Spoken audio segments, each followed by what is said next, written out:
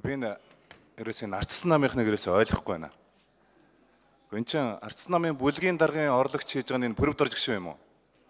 Тэгээ та бүхэн санаж байгаа үстэй. Зандаа хүүгийн энх бол дарга их хурлын дарга байхдаа одоо завсарлага авахд хэрв тэр бүлгийн орлогч дарга нь байх юм бол тэр томилогдсон бичгээ аваад ир гэж шалгаж байгаа та нар чинь завсарлага өгдөг байсан шүү дээ.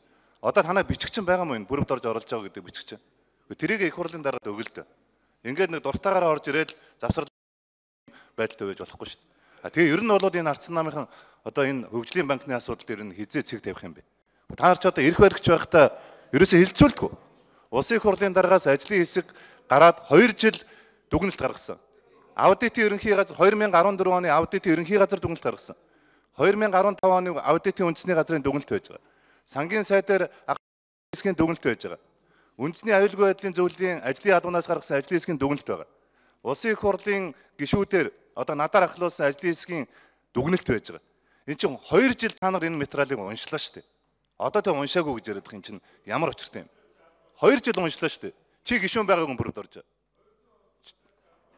Юу яриад байгаа юм бэ? Та нар ч одоо сая байнгын ороогоор оруулж ирэхээр ерөөсөө засгийн газраас томилогдсон ажлын хэсэг нь юу вэ? Мэргэжлийн бус. Мэргэжлийн чадамжгүй ажлын хэсэг томилдсон байна гаргасан дүгнэлт нь улс төрийн шин чанартай орон нутгийн сонгуульд өгсөн ийм дүгнэлт байна гэсэн ийм утгагүй юм яриа та нар хоёр удаа завсарлаа авсан шүү дээ байнгын орон дээр.